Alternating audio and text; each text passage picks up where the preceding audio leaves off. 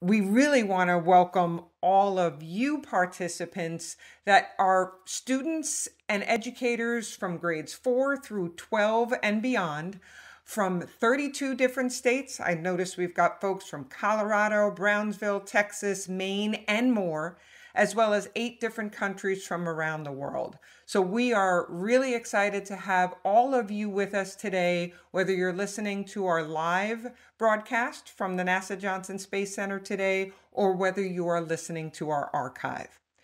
A really special welcome to a very busy individual, our featured speaker, Dr. Paul Abell. Paul is so, so very busy with different missions, but the excitement of the DART mission and his willingness to share those post impact updates with all of you today. We're really, really uh, happy to have Paul with us so that he can share with you again a little bit of a what was DART all about, as well as what are some preliminary results that we have found. So, with that, welcome everybody. I'm going to stop sharing my screen and I'm going to turn things over to Paul. So, Paul, if you'll introduce yourself and then get yourself started with your presentation. Thanks. Thanks, Paige. Welcome, everybody. Uh, it's good to have everybody uh, with us. Um, so, my name is Paul Abell. I'm uh, based here in uh, NASA Johnson Space Center, which is in Houston, Texas. I'm a planetary scientist, and uh, basically, what I work on mainly are asteroids and particularly near Earth asteroids. So I'm what they call a planetary geologist. And um, you think of a geologist maybe on Earth who uses a rock hammer and a magnifying glass to look at uh, their rocks. Well, I'm a planetary geologist, so I have to use really big telescopes and spacecraft to look at my rocks. And so I'm going to talk a little bit about the DART mission, um, which is a, a, mission to an asteroid. It's all about planetary defense. I'm going to talk about that and uh, hopefully you'll have uh, learned something and have a good time at, at the same time. So I'm going to begin. Uh, I'm going to stop my video and uh, then start sharing sharing the screen. Good. Okay, so here's the DART mission, guys. Double asteroid redirection test. I'm going to tell you a little bit about it and also tell you uh, what actually happened. So let's begin. Okay, so planetary defense, this is an international enterprise, right? We need a lot of people uh, to do this. So we have many, many institutions. You'll see them scroll by there. Um, it's uh, we have over 100, 100 institutions, over 200 people from 28 different countries all working on, on this, right? Basically, these are fireballs, these little dots here, and hopefully you can see my mouse every one of these little dots, you can see it hit, they're hitting all over the world. These are asteroids that are coming in and exploding in the upper atmosphere. And the size and the color represent how much, how big they are and therefore how much energy they explode with. So you notice this one right here, this is a really big one. This is the Chelyabinsk impact that happened in 2013. You can go on the internet and look up Chelyabinsk and see what happened. It was a small asteroid, about 20 meters in diameter, but it exploded with lots and lots of energy, um, 500 kilotons, almost 30 times more explosive than some of the atomic weapons that were used in World War II. Fortunately, um, you know, while this happens, these are data from 1988 to just you know last month, September 15th of of this year. Um, these are small. They happen, you know, relatively frequently, but they're small and our atmosphere protects us. But things that are bigger, like Chelyabinsk, they tend to get get through. They penetrate down further into the atmosphere and can give us a bad day. So this particular event in Chelyabinsk, we had over 1,600 people hurt. No one died, um, but 1,600 people were hurt. So this is something that we just got to keep an eye on. Um, and if you remember what happened to the dinosaurs 65, 66 million years ago, they got wiped out by an asteroid. Um, they didn't have a planetary defense program. They didn't have space program. Um, we do, so we want to make sure that that doesn't happen. So that's why we're doing the DART mission. So here's just to give you a little bit more sense about the um, the asteroids, and you know this is what I also joke about when I say it's my job security slide. So on the top here, I have asteroid diameter, the frequency, what happens when they impact the number and how well we've done in terms of discovering them. So you notice the really big guys, you know, the size of the the dinosaur killer. This is like a 10 kilometer asteroid. We know where all those are, and they're safe, and we're not in any danger. The ones that are one kilometer uh, diameter, um, we've got about 900 of those. We've done really well on these guys. 95% um, we know where they are and everything's safe. So we still have a little bit more work to do, but um, these are big and um, easier to see. Um, the sun reflects light off the, you know, the asteroid reflected light off the from the sun, so our telescopes can see these. So if you're big, you're bright, and you're easily detectable, so we'll be able to find these with no problem and, and hopefully have lots of warning time. But when you start getting to the smaller ones, they're harder and harder to find. There's lots of them. So you know the 160 meter one, this number is important because this is the size of the asteroid that we actually hit with DART. And you know, you can see there's 20,000 of these, and we've only got about 42% uh, of these found. And then when you go to smaller sizes, um, you know, it's even even more of them, and we have much more work to do. That's why I say this is my job security slide. So I could work for a very long time and not be able to find or understand all the asteroids that are out there.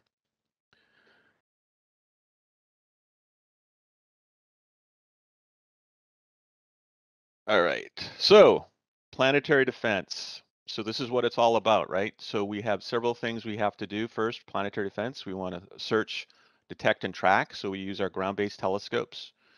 We want to characterize, figure out what they're like. We want to plan and we want to to mitigate. We want to protect the, the planet. Uh, and then assess what we've done for them, right? How well we did when we actually tried to move them out of the way. So this is all about planetary defense. So we have several things we have to do. First, though, we have to find them. And that's the most important thing. You have to see what's coming at the Earth in order to protect the planet. So um, we have uh, three rules uh, when we have to find the asteroids. It's find them early, find them early, and oh, by the way, find them early. We want to have lots of time in order to prepare. And then once you see something, you want to be able to defend against them, right? So we want to be able to, we see something coming, we want to be able to deflect it and, and protect the planet. And that's why the DART mission that NASA is doing is really, really important right? It's all about testing and being ready for planetary defense. So just like you prepare for class or a test, you practice. Um, maybe you play an instrument, so you practice the instrument before a, a symphony. Um, you maybe you you're doing sports, you have practice uh, in sports as well. So just like that, for planetary defense, we have to practice, and that's what this DART test mission is all about. It's practicing to defend against an asteroid maybe hitting the planet. So here is the DART spacecraft. Um, on the left-hand side here, you see the DART spacecraft. That's this gold uh, sized, almost like the size of a big refrigerator or freezer. Uh, the solar panels are folded up. It's in this big nose cone of this rocket. There's a person there for scale. This is a nose cone of a Falcon 9 rocket. There's that nose cone up here on top, and this is the Falcon 9 rocket. So we launched from uh, Vandenberg Space Force Base in California uh, in November, November 24th, and uh, DART was sent on its way. Um, so I'm gonna, the next animation is I think gonna be a little bit about the mission itself. And so I'm gonna let this play and just enjoy, watch it. It gives you a sense of what the actual DART mission is end to end. And we'll go from there.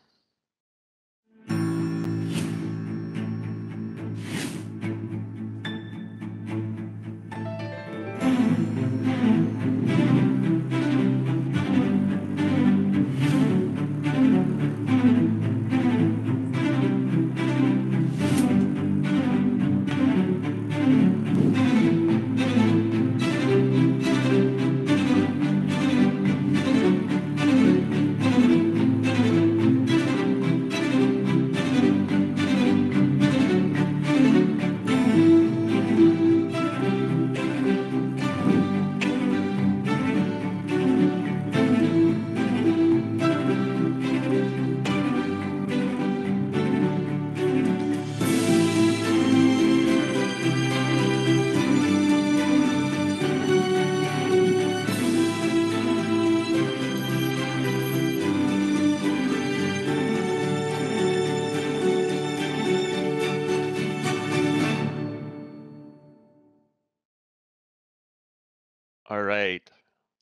That that gives you a sense of of what we what we did and, and what actually happened, and uh, so it was it was pretty exciting. It was a a very very fantastic mission. So this is um, this is what we did basically. Um, we DART targeted a binary system, and it hit the smaller asteroid called Dimorphos, which is this this asteroid right here. This is again this is an artist's rendition, so this is just a cartoon image, and it orbits around a larger one called Didymos. Right. So here's Dimorphos. It's about 160 meters across. Here's Didymos, which is about almost 800 meters, 780 meters across and they're separated. You know, Dimorphos orbits around Didymos. They're separated by about 1,200, almost 1,200 meters, not quite. Here's the DART spacecraft. You saw that in the animation, the solar panels deployed. It was traveling at 6.1 kilometers per second when it hit Dimorphos. And it hit at 14,000 miles per hour. Okay, so that's just converting from miles per hour from kilometers per second. It's it was fast. It was really really fast and we impacted September 26 precisely at 7:14 p.m. Eastern Daylight Time. You also saw on the video the LICIACube spacecraft that got deployed. That was deployed 15 days before DART hit Dimorphos, and that little spacecraft followed behind DART and actually got to observe what happened as it flew by.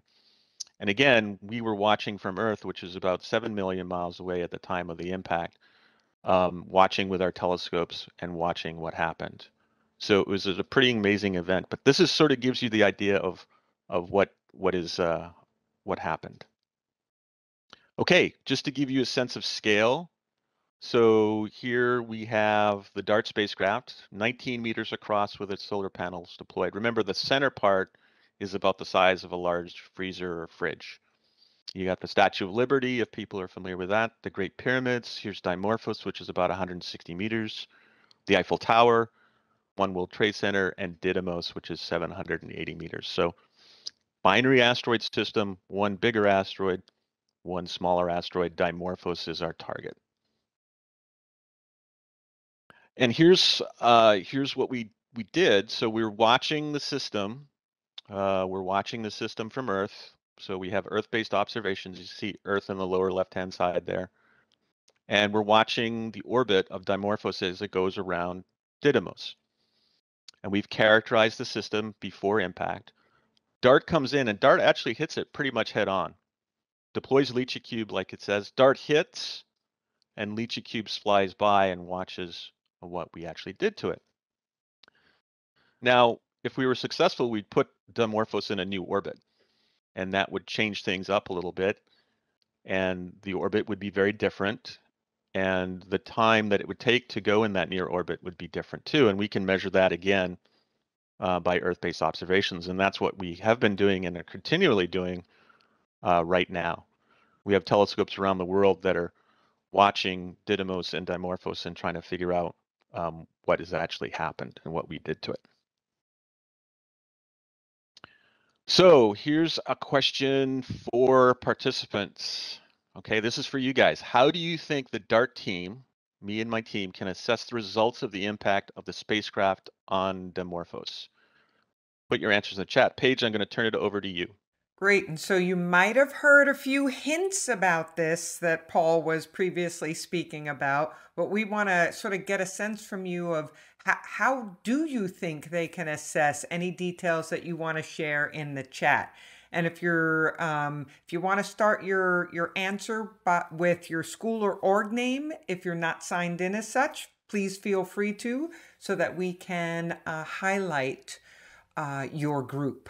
So uh, we're getting some answers like by measuring the time it takes to orbit Didymos. Uh, we've got a solar system ambassador from Florida saying uh, you can look at if you change the orbit. Well, we want to know how. How can you measure the orbit? So we've got a solar system ambassador that mentions by using math and physics.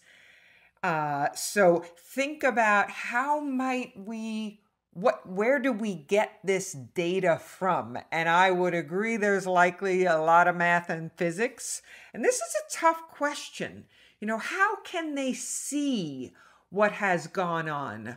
Um, how can they look at data? What type of data might they be able to uh, get information from? So, Vintage Magnet says you can measure the orbit using data from satellites.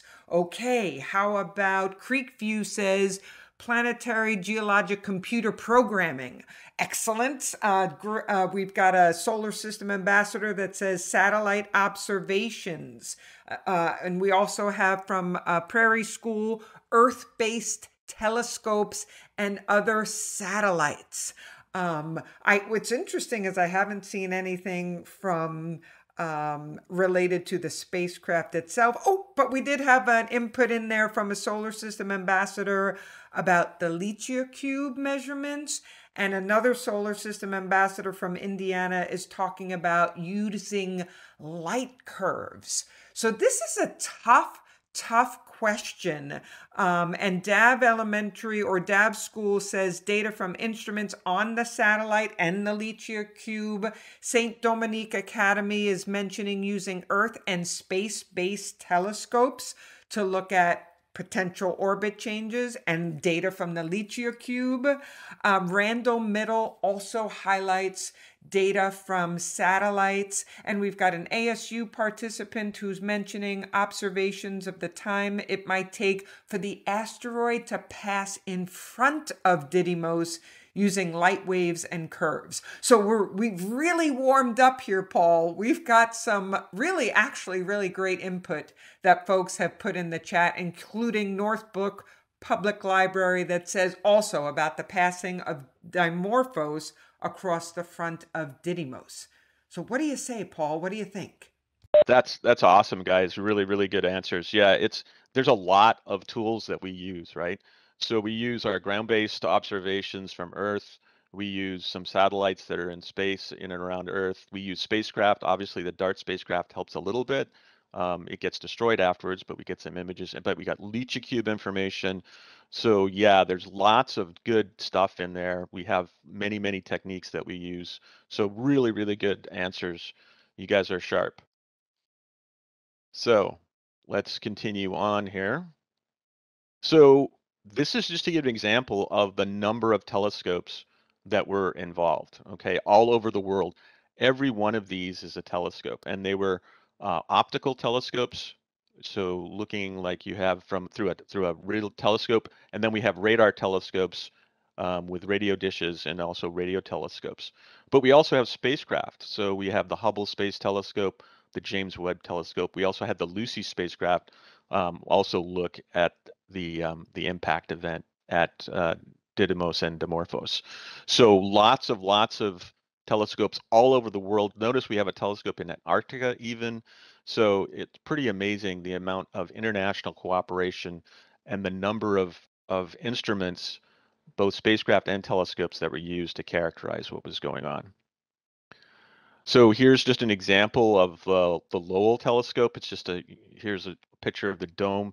This was a very large telescope that helped look. And what they were looking for is this, right? So here's just a cartoon of uh, Didymos and Dimorphos as it orbits. And one of the things these optical telescopes do is they measure the brightness of the Didymos and Dimorphos, and you'll notice that there's a couple of dips over time as they measure. And those dips are when shadows occur on Dimorphos or when uh, Dimorphos goes into shadow, I say. Um, it's eclipsed by Didymos, right? So you can see that dip matches when it's in shadow and when there's a shadow cast on uh, Didymos as well. So those dips and that timing, that's what we're looking for to see how those change because that tells us that maybe the orbit has changed if we've done things correctly with our our practice planetary defense test right so that's one way we've we're looking at the the results the other way is we use um, big radio telescopes and they transmit radar and radar is really useful because we can actually almost image get a picture of the asteroids themselves so this is sort of a cartoon of what happens. So we have the asteroid uh, above, sort of rotating slowly. The radio dish sends a signal out, and the signal reflects back and the uh, radio dish picks it up, collects that signal back, and then makes a picture of it. You can see down on the bottom part here. So takes a lot of computer power and things like that. But if these radio dishes are successful, they can get an image of the asteroids. So that's also a technique that we used. But one of the other things that was really, really good to help us figure out, first of all, what the asteroids were like, both Didymos and Dimorphos, was um, our eyes on DART, which was the Draco instrument. So that stands for the Didymos Reconnaissance and Asteroid Camera for Characterization and Optical Navigation, right? So this is the camera. The spacecraft really only had one instrument, which was just a camera uh, on it. And it was just basically used to help guide the spacecraft towards uh, the Didymos system and then used to target into the asteroid. So the next animation I'm going to show you, this was an animation we made up just to show how um, the targeting system works. You'll see in the animation the DART spacecraft target in a red circle the bigger asteroid first, and then it'll switch over. If you look carefully, that red circle switches over and targets Dimorphos and then zooms in. So this is taken uh, roughly in the last uh, few little bits of the mission. So here we go. And you can see it. So we're maneuvering around. The red circle's on Didymos. It's the bigger one. Oh, now it just shifted. And now we're targeting on Dimorphos. And this is going to be the target. Keep in mind, this is just a simulation that we made um, before the impact event. And as you can see, we're coming in uh, pretty fast. Remember, we're traveling at six kilometers per second. Um, so that's really, really fast. That's 14,000 miles per hour. And uh, you'll see how we managed to keep, in this simulation, keep the spacecraft dead center on Dimorphos. And then bang, we hit, right? So we'll get one image and then probably not much left. Okay. So that's what the simulation was like uh, from the view of the spacecraft. Now here is an animation from the point of view of Dimorphos. So if you're Dimorphos, you're happily orbiting your your big uh, big brother Didymos there. You can see you're looking around and you're looking at the night sky and things are really beautiful. It's really nice. It's nice and clear, obviously, because you're in space. You can see all the stars, some interesting constellations, and all of a sudden, hey, hey, I see something. Hey, what's that? Oh, hello. And then bang, dart darts hit in, right? So again, that's just an animation from the point of view of what it would look like if you were standing on uh, Dimorphos. So here's another question. Here is a great question. How long a period of time do you think it was between DART's first view of Dimorphos until just before the impact? Okay, you have some choices here. Was it months, days, hours, minutes, or seconds? Please put your answers in the chat. Paige, I'll turn it over to you. Great. And again, if you want to be able to start with your school or org name, we'll see and give a little shout out to those of you that might be answering. And you can see reference pictures below Paul's question. So we're getting some input. Creek High Creekview High School says minutes. One of our solar system ambassadors says seconds. We've got another um, another group saying hours, seconds. Um, Monsanto Middle School thinks it might be days. Randall Middle School says probably seconds. Uh, we've got San Benito High School that's thinking, well, m- maybe minutes.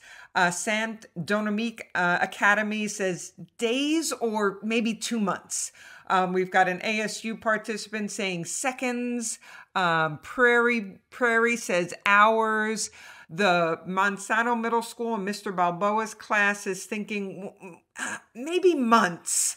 Uh, so you know, it's it's mostly uh, we have a diverse group of answers coming in from minutes to maybe seconds to maybe months. Northbrook Public Library thinks it it feels like it would have to be days. Um, Uh, so, and Dav also uh, from India says days as well. So we we've got some diverse input there. So, Paul, how long was this period of time? It was guys it was it was interesting right um, people who said hours and minutes were actually probably closer to the right answer so here here is how it actually happened right the, the timeline to impact it was kind of crazy so when we were 25,000 kilometers away that's when we first saw uh, Dimorphos, and it was only two pixels across. You can barely see it um, in that little square there, and that's when we started tracking. So that was 68 minutes um, before the end the end of the mission, the time of impact, right? That's crazy. So we didn't see our final target uh, until 68 minutes before. We managed to see Didymos well before, but it wasn't until 68 minutes that we saw uh, Dimorphos. And it just tells you how small and how hard these asteroids are to find and target and how quickly we come upon them. So notice we are over here at 68 minutes, uh, 25,000 kilometers away. Now, only two and a half minutes before impact, we're 920 kilometers away, and you can start to see uh, Dimorphos there. It starts to take more of a bit of a shape. Here we are, 12 seconds before impact. We're still 70 kilometers away, uh, and you can get a really better idea of what uh, Dimorphos is right. This is the final image that had all of Dimorphos in it. And then two seconds before impact, this is the last full image that we got uh, it was 12, you know, this is 12 kilometers distance. This is about 31 meters across. So things happen really, really fast on, on this mission, especially when you're traveling at 14,000 miles per hour. So it was pretty incredible. And we were so excited. Um, I'm just going to go through some of these images for you. So here's the, the image that was taken of the the entire system. So both objects, uh, this is the last image of, of both Didymos and Dimorphos. Again, this was taken from 920 kilometers away. And you can start to see some really interesting things. There may be some boulders on uh, Didymos. Here's like a, some smooth region right in here. Um, maybe another boulder here. Uh, is still kind of fuzzy, but we're, we're coming in on it. And, and here we are, you know, not a lot closer. Um, so we're about 70 kilometers away ish.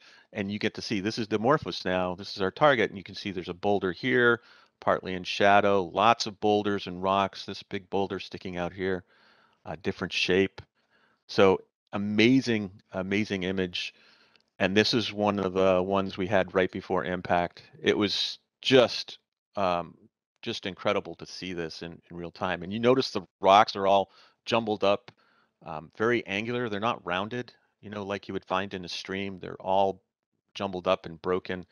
Um, lots of different sizes, some bigger ones. Again, keep in mind this distance across is about 31 meters, so about a third of a football field across, just to give you a sense of scale. And then this is the last image we got uh, right before the spacecraft crashed. All right, so the next video I'm going to show you is an actual real video of the spacecraft uh, as it came in. So uh, I'm going to show this video. Um, this is the final images, the last five and a half minutes, uh, sped up 10 times except for the last six images.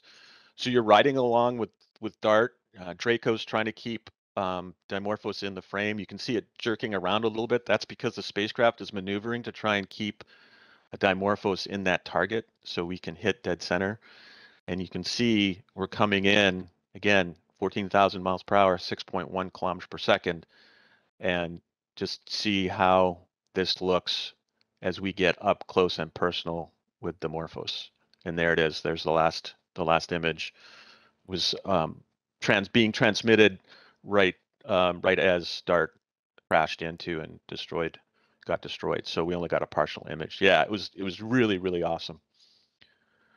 So again, just to give you some sense of uh, a little bit another look, uh, put in a different orientation. Those are the these are the same images, but just in a different orientation. So again, this is about two and a half minutes uh, before impact, uh, um, 920 kilometers away, and you get to see what the the asteroids are, are like. So the interesting thing is this side faces uh, so you can see this this that we think it's a boulder is facing this part of Didymos. So this is Dimorphos, this is Didymos, this big boulder here is facing this way. And here's uh, about 11 seconds, probably taken about 68 kilometers uh, away um, as we're coming in to hit almost dead center, as you can see. So yeah, it's really awesome. And then this is the set, you know, the, the last full image that we got. It's taken two seconds before impact, 12 kilometers away. Uh, and this is 31 feet across, like I said. So just give you another sense, another look at some of these boulders and, and what the surface of Dimorphos uh, looked like. All right, so here's another image. This is, remember I mentioned LICIACube? So LICIACube, uh, these are two images. They're taken about six seconds apart. This is before and after the impact. So you can see it before, it's just sort of, you know, Dimorphos is there. Um, and then all of a sudden, six seconds later, we impact and you see the big flash, right? So this was taken from over a thousand kilometers away as LICIACube was flying by the uh, by the asteroids, and you can see it. Here's another image. So this is taken a little bit closer. So here's uh, Didymos, right? And here is uh, Dimorphos. And one of the neat things you can see is all this ejecta, all this material that's being thrown off. See how crazy this looks? Just really, really interesting. This is all material that's been thrown off the asteroid after DART's impact. This is only three minutes after, and we have all this material uh, coming off. So pretty, pretty amazing, uh, pretty amazing stuff. Here's another image uh, this was taken a, a 76 kilometers, so it's a slightly uh, different orientation, different vantage point. So LICIACube is flying through along this side. So this material, all this ejecta, is in front of uh, Dimorphos. Dimorphos is underneath this. Here's Didymos. But again, you can see all this wispy, clumpy ejecta um, that was captured at this at this distance from LICIACube. So we were really lucky to have uh, cooperation from the Italian Space Agency that helped us um, get these amazing images. Because without LICIACube, we wouldn't have known, uh, we wouldn't have had these great images and known exactly what it was like with the ejecta in or around Dimorphos and Didymos. And then here's another view of it, 75 kilometers, but taken looking back. So now LICIACube has flown by but remember, as LICIACube flows by, it it tracks the asteroid, so it moves its camera, so it keeps the camera always focused on Dimorphos. And you can see the ejecta looks different from this vantage point, right? Before we were looking from over here and looking down. Here's Dimorphos, here's the ejecta, and you can see how it looks almost like here's one edge of the ejecta cone, here's another edge of the ejecta cone. There's no, doesn't look like there's any ejecta out this way. Um, but again, it, it's really clumpy. Um, there's a lot of it. So it's very, very interesting, very, very interesting stuff. Here's a movie. Um, this is from LICIACube. As it's going by, you'll see the distance as it counts down. So gets through to close approach here in a bit, and then switches over as it flies by. And now we're looking at the same asteroid, but now looking away and you can see how the ejecta is just just all over the place. It's crazy. It's it's amazing. So a lot of this we have to figure out what this means, and you know that's why we do the test, right? So we know we've we've done uh, some some stuff to the asteroid, right? There's lots of ejecta being thrown around. So that's what it looked like from space, uh, up close and personal, uh, via LICIACube. And here's another image. So this is the same, uh, one of the same images, but what we've done here, the team has done, see these squares here? Well, these squares are different contrast levels. And basically this just helps us bring out the detail of all the ejecta. And it it's this sort of crazy, so almost like a, a starburst type pattern with lots of wispy trains, uh, clumpiness. It's not uniform. It's not all what we call symmetrical. So really, really, really, um, really amazing, amazing stuff. And see how far it goes out, you know, well past, there's a big clump here. Lots of interesting things that we have to figure out what this all means.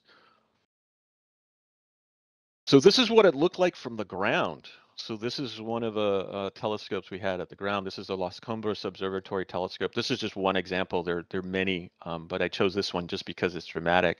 These were taken 12 and 15 minutes after the impact, and you can see all this material. You can see it here blowing off in this movie. See how the asteroid gets really, really bright, been hit.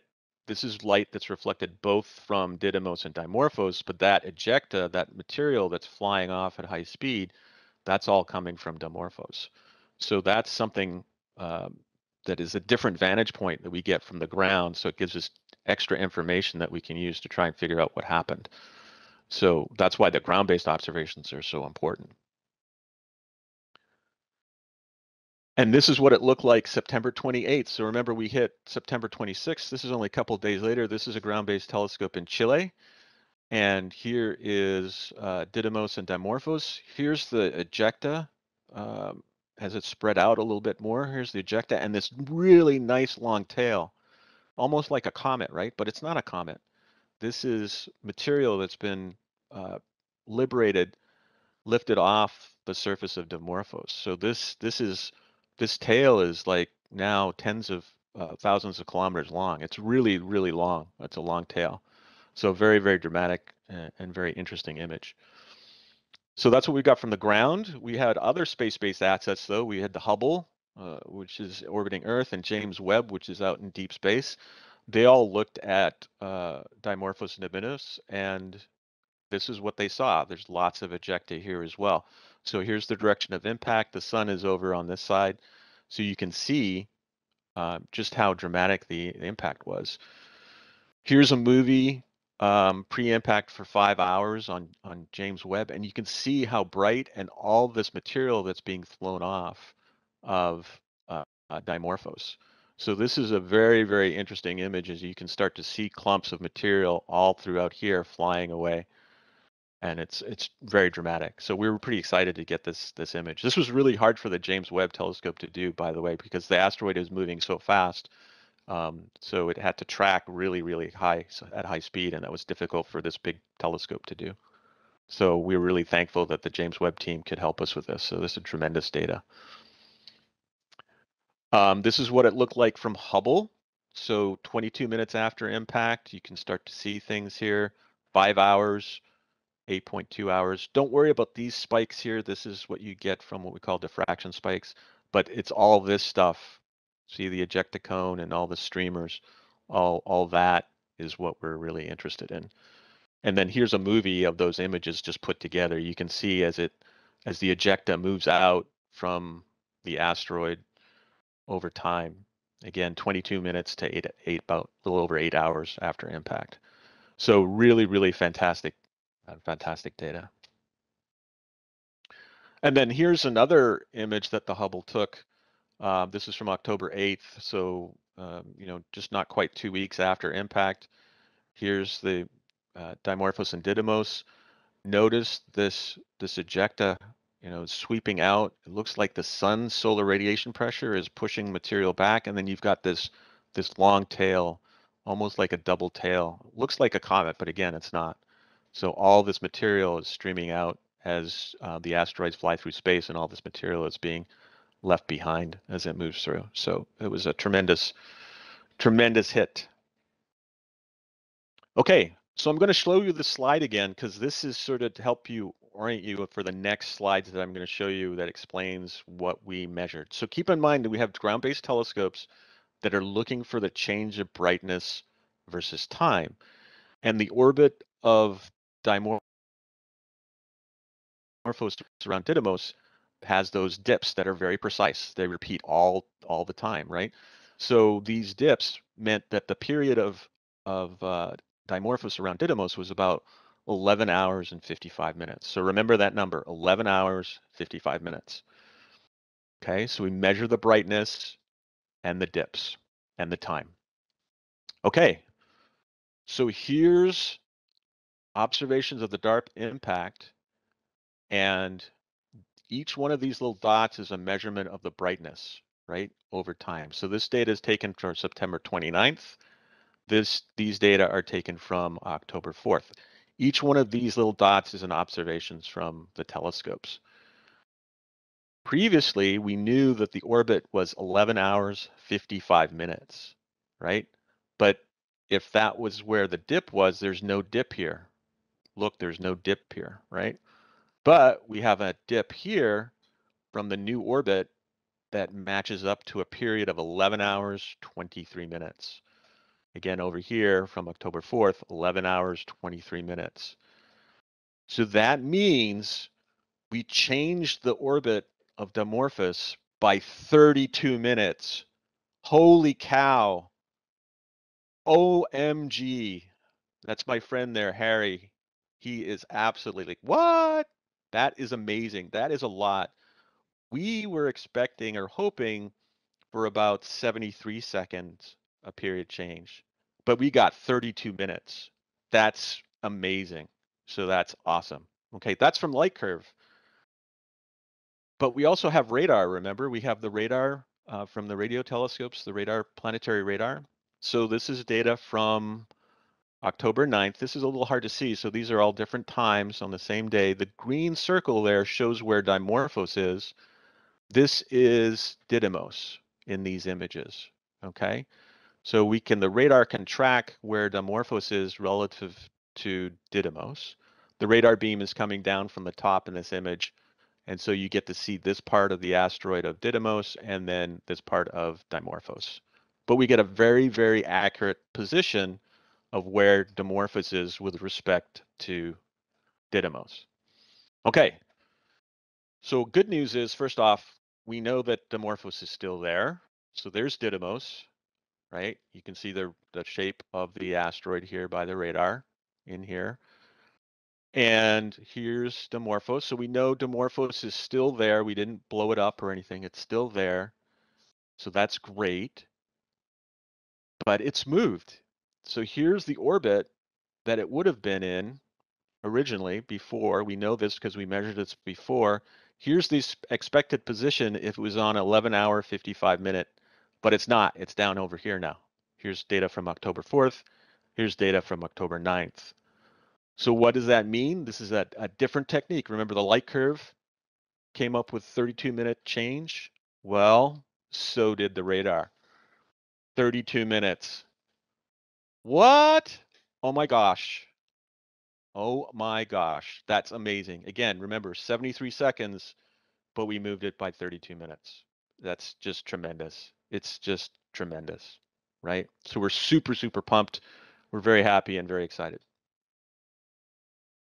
All right, here's a question. So we've we've we've moved the asteroid. It's an amazing, but why do we do this mission? Okay, so Earth is not currently at risk of being impacted by a large asteroid. So I want to make sure that everybody understands that. You know, we we are working very hard at NASA and our international uh, colleagues on planetary defense. We don't see anything dangerous happening right now, but we have to be ready just in case. So why is this DART mission so important? So I want to make sure you put the answer in the chat. Why is the DART mission important for uh, not only you, but everybody? So please put your answers in the chat. Paige, I'll turn it over to you. Great, thank you, Paul. And so as we look to see some answers, Creekview is saying so we don't end up like the dinosaurs. Um, we have another individual saying to divert a possible future asteroid from hitting us. One of our solar system ambassadors from Indiana says it's like a proof of concept and the checking our ability to change in orbit. Um, Mr. Balboa's class from Manzano Middle School there in Brownsville says, as a practice, in case we ever actually need to use this to protect us. And I'm glad, Paul, that you have mentioned that again, to reinforce the fact that Earth is not currently at risk of being impacted by a large asteroid. Uh, and so, this input that folks are sharing with us is still giving us some great information about why is it that we're prepared. And so uh, Prairie says exactly what I just started to say to be prepared before it's too late. Technology used in other aspects. We've got an ASU individual saying a slight redirect of an asteroid headed our way could make a world of difference. Randall Middle says if we need to deflect an asteroid, then we can use the DART mission technology to protect Earth. Another solar system ambassador says we know the speed of impact, the size, the weight of the asteroid impacted, and we can scale up in case a larger asteroid is heading toward Earth. And so all of these answers that I'm seeing come in, including St. Dominique Academy, which is saying to protect ourselves if a large asteroid does come towards Earth, you know, they've got their thinking caps on, Paul, and I'm sure a lot of the information you have shared um, really helps them get a get a fuller understanding of this. So while some input may still come in, uh, Paul, I'll turn things back to you. Yeah, that's awesome. Awesome, everyone. Those, those are really great answers, and, it, it's exactly right. We want to be prepared. Um, we want to be able to make sure that we can um, be ready uh, if we see an asteroid that's headed our way. We want to be able to do something about it, right? So this was just the first test. Um, and you know, if we see something, maybe a bit bigger asteroid um, or different type of asteroid, you know, we can use this information uh, to help us uh, deflect one in case we have to do it for real. So uh, excellent, excellent point. So again, right, remember what I said, this is just the first, the first test. Um, we're planning to do some more things. I just wanted to show you this image. And this is the, the image, the, the last full image we got right before impact. And then on the lower uh, left-hand side of the screen there, you can see uh, our DART operations team. Everybody's clapping, everybody's cheering.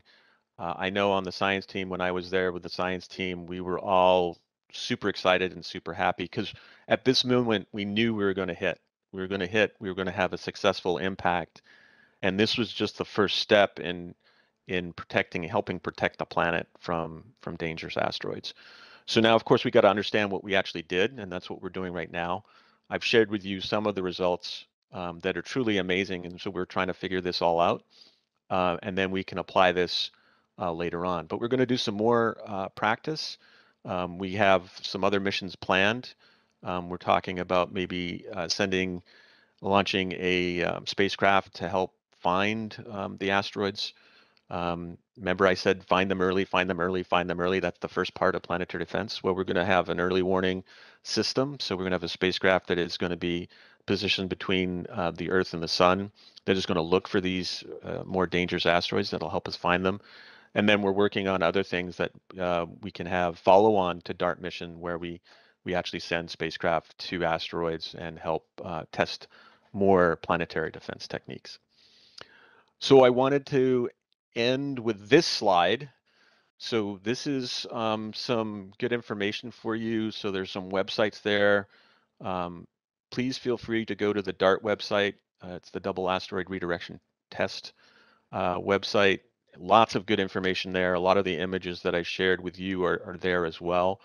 Um, you can follow us along on social media. There's lots of, of interesting social media and, and things that are happening. So please follow us along there. But also, please join me and my team and the rest of us to help defend the planet.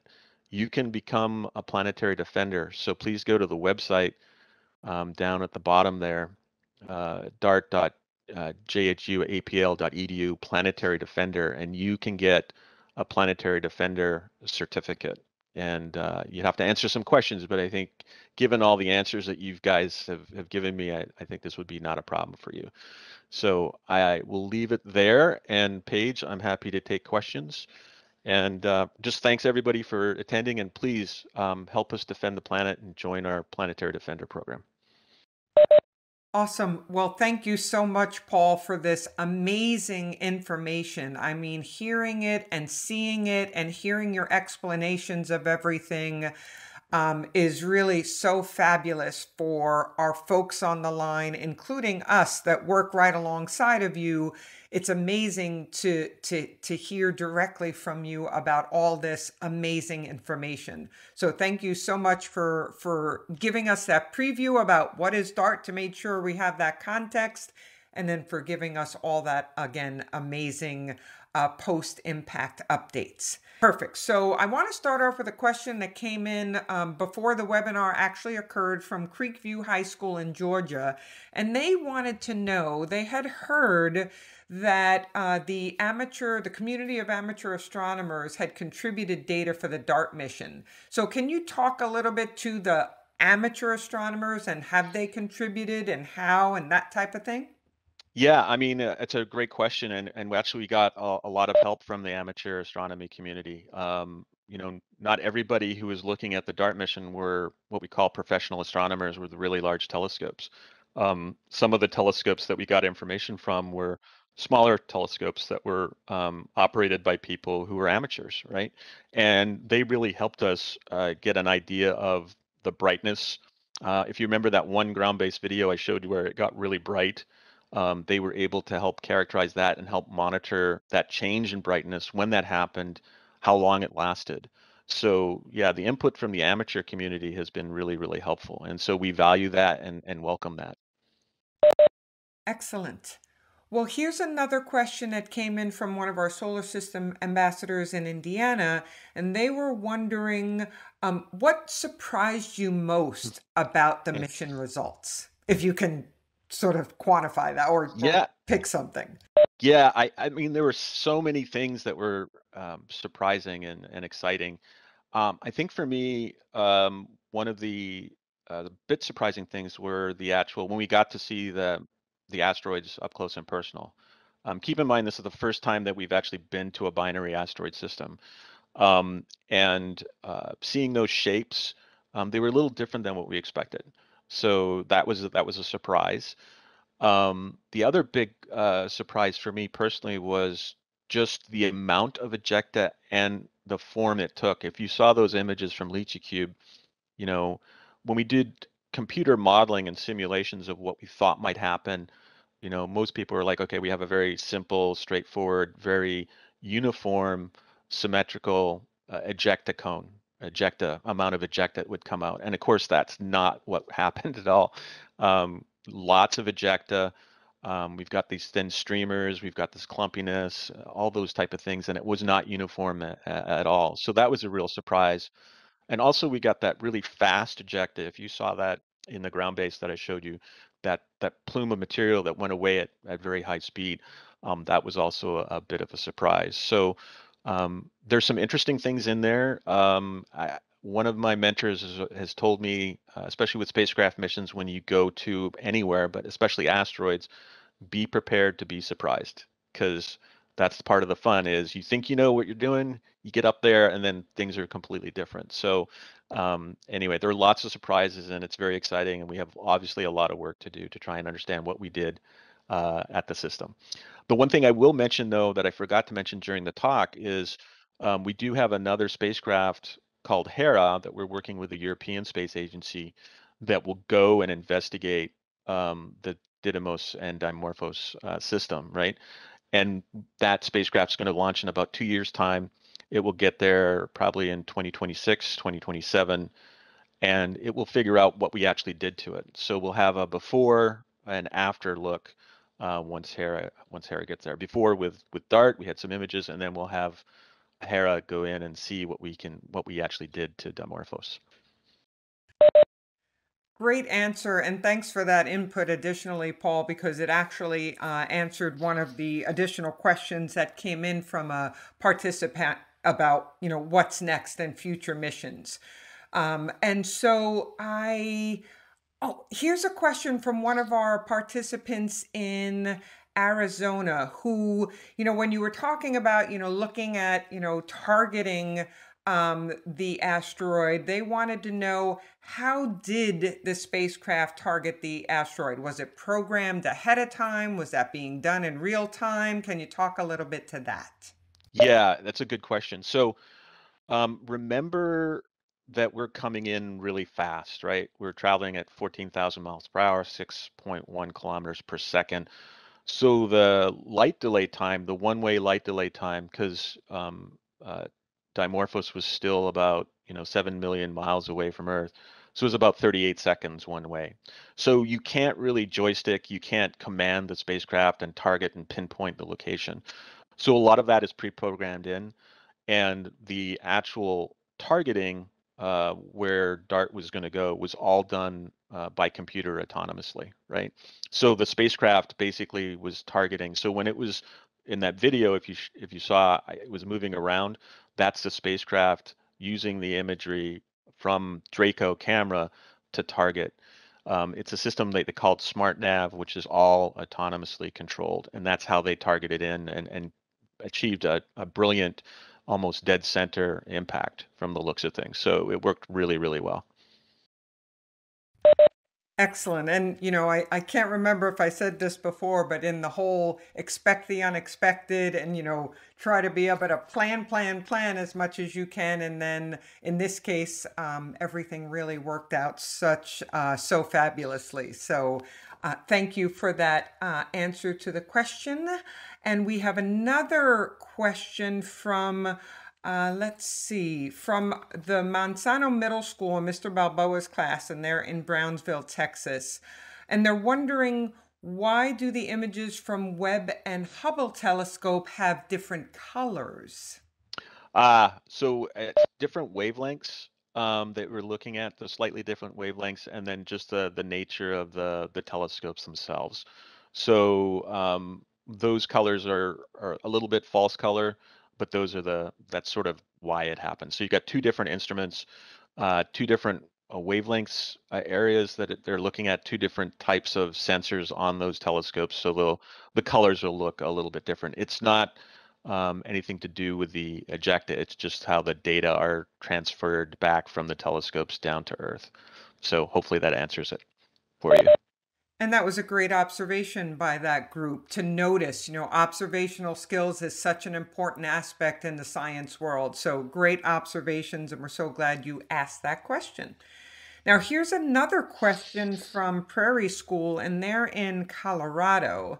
They're wondering about, you know, when and how did the whole idea of DART and this whole mission begin? That's a great question. So, this mission was a relatively short mission in terms of when it was launched and uh, when it actually ended and when you know when the spacecraft hit Dimorphos. So we keep in mind we launched in November uh, of last year and we hit September 26th. So relative, not even a year long mission. Uh, most of the spacecraft missions I work on are seven years or or, or sometimes even longer, right? Um, but they're multiple year missions. This one didn't even last a year but the planning for it uh, was over 10 years. We'd been thinking about this for a long time. Uh, so almost 11 years in terms of thinking about the concept, why it would be a good idea, uh, sort of writing it all up, doing some of the analysis, and then presenting it to NASA and saying, hey, here's our idea. We think this is something we should do for planetary defense to test. And then NASA having to go and say, yes, this is great, get the money, and then uh, we're allowed to build the spacecraft, put it on a rocket, and launch it, and then try and figure out. You know, the mission is still ongoing, even though the DART technically is no longer with us. The mission is still going on because we have to figure out all the analysis, all this stuff. This mission will go on for another year uh, until we figure out what we've what we actually did. Um, so it's a very good question. So the mission itself, very very short operationally, but the planning and some of the results um, that takes a long long time. Excellent question, and thank you for your input on that, Paul. Now, related to, you mentioned, you know, of course, the DART spacecraft is no longer with us, but in terms of the Lichia Cube, we have an American School of Abu Dhabi that is wondering will the Lichia Cube still collect data? Can you speak to that a little bit? So, the LICIACube is finished collecting data from uh, the Didymos Dimorphos system. Um, there's still a few uh, bits of data that it has to relay back. Remember, it's a small little CubeSat, so um, the data rate is is a little bit smaller, uh, so it takes a bit longer to get all the data down that it recorded from its its two cameras. Um, but once it's done that, it, it still is going to fly on. I think the Italians, uh, Italian Space Agency, is looking to see where LICIACube may end up, may go. Um, but the chances of it doing anything else or small. Space is really big, so it has to fly by something in a, in a relatively short period of time before it um, it is no longer operational. But they're looking into it. Um, you know, LICIACube is still alive. They still have contact with the spacecraft. Um, so we'll see. So stay tuned. You never know. It might actually encounter another asteroid or maybe a comet. We'll see. But it's it's chances are pretty low. But we'll see. Well, you know, you you just made me look at another one of our questions to ask uh, something related um, uh, to, and there's two of them. So I'm going to get to one question first, and then the other one, which your commentary particle or comet tail made me think about. But here's one of our uh, questions from um, Arizona. And they're thinking about when the ejecta was sent out in all directions, kind of like a starburst, starburst what would cause it to form a tail-like path Uh, backward behind the asteroid without air to push it backwards like here on Earth? What would cause this pattern? so there's a there's that's a good question. So there's a couple of things. So if you think about it, the asteroid is still moving through space, but all that material was ejected from it at a single point in time, right? When that moment of impact happened, right? But all that material is flowing away. So you have a couple of things going on. One, you have the asteroid moving away from the moment of impact. So all the debris is thrown away and then trailing behind it. But you also have the solar radiation pressure with some of the smaller particles that is pushing it back too. And so that's what makes that, we think that's what makes that long, those really long tails um, that we see. Again, we have to do more analysis on all the imagery, both from the ground based and the, you know, from the Hubble uh, data that we have. Um, but that's what we think is going on. And so stay tuned. We'll have probably have a better answer. We're probably going to write this up in in papers and and things like that and results. Um, but that's almost certainly what's happening right now. So it's a little different from a comet. Um, this is all due to you know what a comet you have um, sublimation. So the the ice in the comet changes right to a gas and it it starts throwing particles off. Here, this is all from a single impact that happened, and then uh, bits are thrown off, and then the sun uh, takes it takes it back a little bit more too. That what helps forms the tail. Well, great. Well, thank you for that uh, answer, Paul. Very uh, thorough, and you know, I, I, I, one of the fun parts I think of uh, even the work that we all here get to do is you learn something new every day, and you know the the observations that that the folks on the line are making and the questions that they ask, it just sort of sparks so much additional sort of thought process and and a learning that goes on. So um, we absolutely love your questions and love the answers coming in by Paul as well.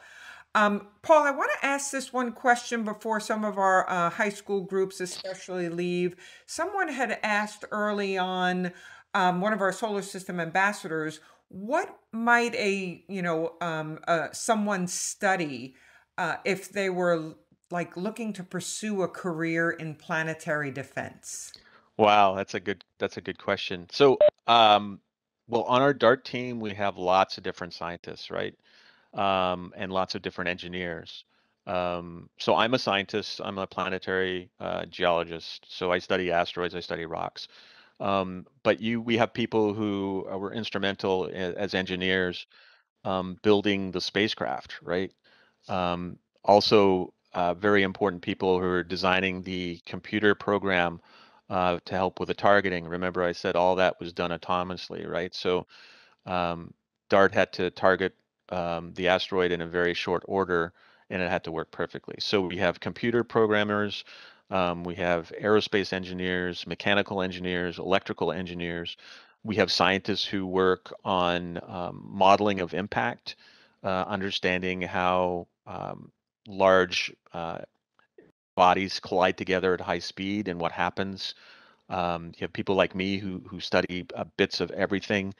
Um, we have people who uh, study the the ejecta, um, basically looking at small particles and how they are released and how they interact uh, after they're liberated from the surface of the asteroid and, and go out into space. So there's lots of areas uh, they can do. We have astronomers, um, we have physicists, um, we have geologists, um, we have engineers. So there's lots of different career paths uh, that you can take um, that can go into planetary defense. And that's that's just from the standpoint of DART. There's other aspects of planetary defense that um, you may want to consider. Um, we have lawyers who are doing planetary defense work. Um, we have emergency management uh, people who are getting ready just in case we can't protect the planet and we have an asteroid come in.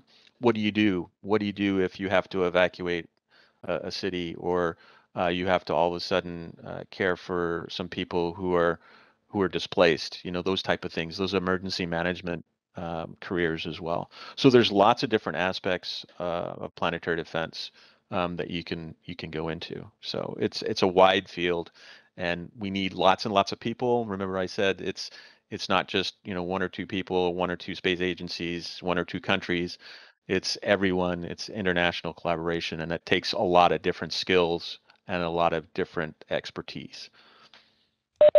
Yeah, and you know, the idea too to add on that wide array of possibilities, even artists and computer animators. I think exactly. that video that showed that you showed Paul, um, and in the beginning of the session, and every time I watch that video, I get chills just due to the whole aspect of everything that gets put into communicating information in such a way that um, can really um, hit home for people and help them understand a, a perspective of a mission. Uh, so yeah, it, the the possibilities are endless. So thank you for that question and for your answers there, Paul. Um, now, actually, related to the mission, one of our groups, one of our solar system ambassadors in Louisiana, was wondering. You mentioned about a seventy-three second um, hope for um, a, a result in changing the orbit of the asteroid. And yet you mentioned 32 minute change. What was the nature of the the the actual the difference? Was it the consolidation of the asteroid material, or or can, do, can do you have any ideas of why it was in a sense so um, impactful? So I, I think you know we were hoping for a minimum of a 73 second. That was that was what we were looking at it was one of our requirements to make at least 73 seconds or, or more uh, in change of the period. And um, again, we've never been to a binary asteroid before. We some have some ideas of how they form and what they may be like. Um, but of course, we got 32 minutes, right? Um, and so I think, you know, if you look at the images, um, there's a tremendous amount of ejecta uh, put forth. So if we, for example, if we hit the asteroid and LICIA went by and didn't see much ejecta or hardly anything at all, then potentially the period change wouldn't have been as dramatic. We might have been closer to that 73 seconds. But if you looked at the images from LICIA and of course all the, the ground-based telescopes afterwards, we produced a tremendous amount of ejecta. And so not only do we have the momentum of the spacecraft coming in and hitting uh, Dimorphos to make a, a slight nudge, but we have all that material that's being blown off, right, in that ejecta, and that adds an extra thrust. That adds a, what we call a momentum enhancement um, to the object. So that undoubtedly played a major role in the difference between 73 seconds and 32 minutes. So that's probably, um, you know, again, we still have to look at everything. We have to do some analysis of the data, but that's what we're, we're going as, as of right now, that's our assumption that the ejecta played a big role in that 32 minute orbital period change. Excellent. And, so stay tuned. Go ahead, Paul.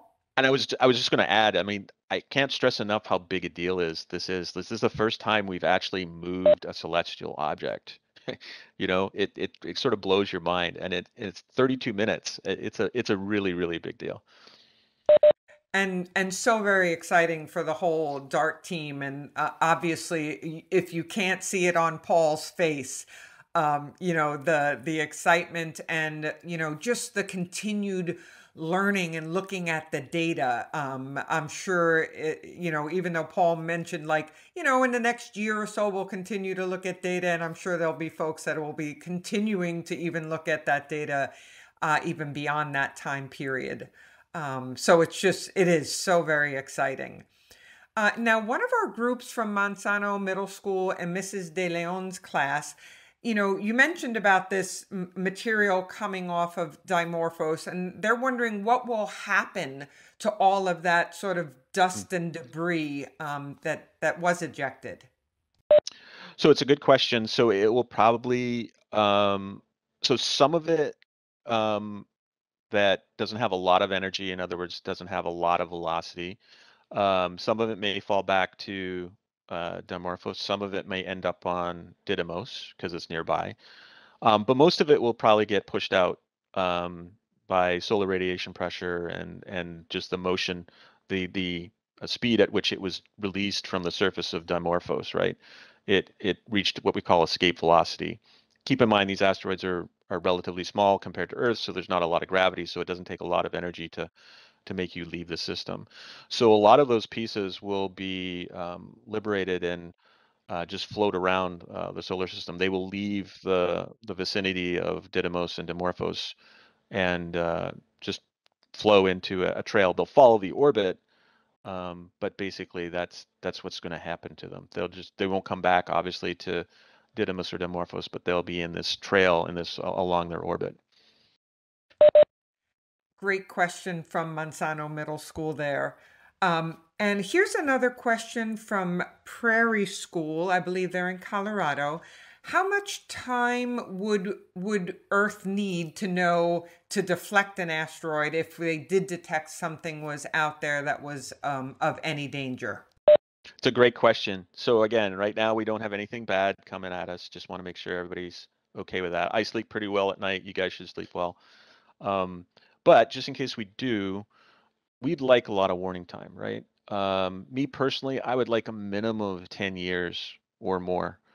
Um, that's why the whole thing about find them early, find them early, find them early. And, and the reason being you want such a large amount of time is uh, you want to know, first of all, you got something coming at you. You want to know how big it is and where it's likely to hit. And then you need to figure out what it's made of, right?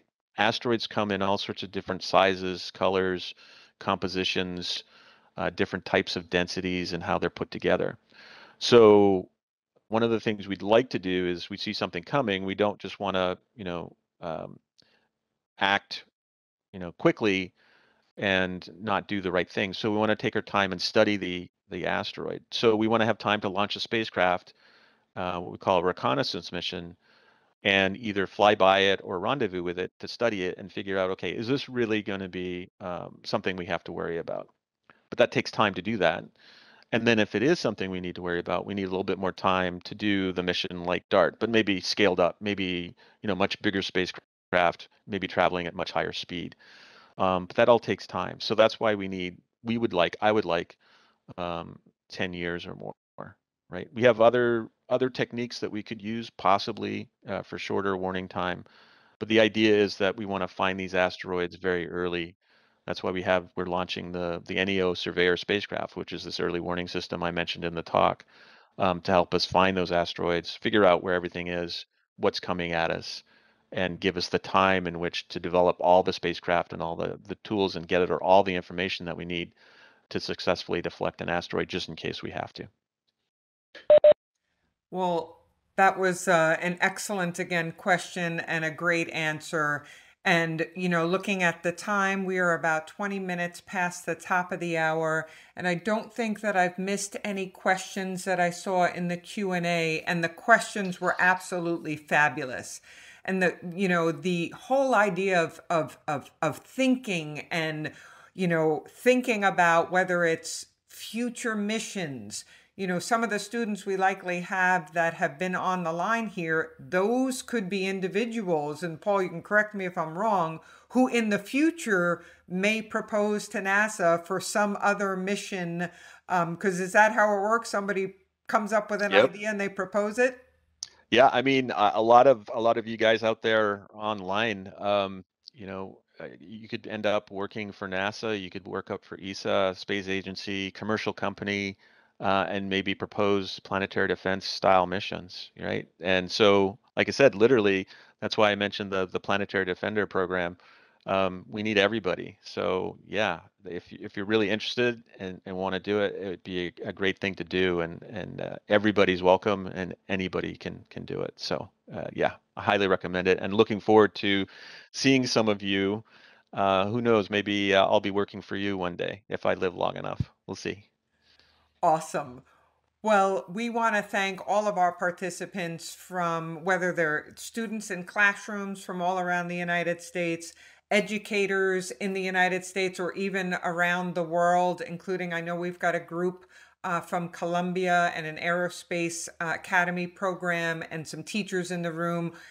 teachers you know can share with their students the possibilities which are endless and the students that are out there you know this is a time where you can think about what kind of career path you perhaps want to take in your future and perhaps you too can be a planetary defender uh, so with that thank you everyone for joining us. Thank you uh, rosina suzanne and kim for helping to monitor the chat. Uh, and most of all, thank you, Paul, for taking the time out of your very busy schedule to share your excitement, the the preliminary results, and all that you have shared with us today. We very, very much appreciate you and value all of, of what you have shared with our um, with our groups on the line today. So thank you so much, Paul. Yeah, you're most welcome. It was my pleasure. Excellent. So, thanks, everyone.